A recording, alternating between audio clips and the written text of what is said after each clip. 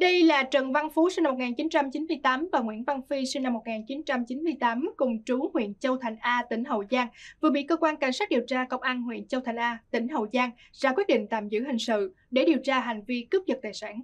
Phú và Phi là những đối tượng nghiện ma túy rủ nhau đi cướp giật tài sản của người dân, khiến nạn nhân bị té ngã trên đường.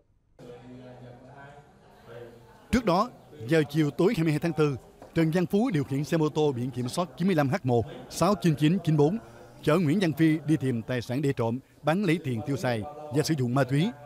Khi hai đối tượng đi trên tỉnh lộ 926 đến đoạn thuộc ấp Trường Bình, xã Trường Long A, thì thấy một người phụ nữ vừa điều khiển xe mô tô vừa nghe điện thoại phía trước cùng chiều. Lập tức, Phú cho xe vượt lên áp sát để Phi giật chiếc điện thoại, làm người phụ nữ cùng phương tiện té ngã ra đường.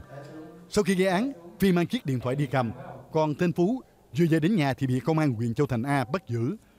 Qua điều tra, đến chiều ngày 24 tháng 4, cơ quan công an bắt được Phi và thu hồi chiếc điện thoại tan vật hiệu iPhone. Kết quả test nhanh, cả hai đối tượng đều dương tính với ma túy. Hiện vụ việc đang được tiếp tục điều tra làm rõ.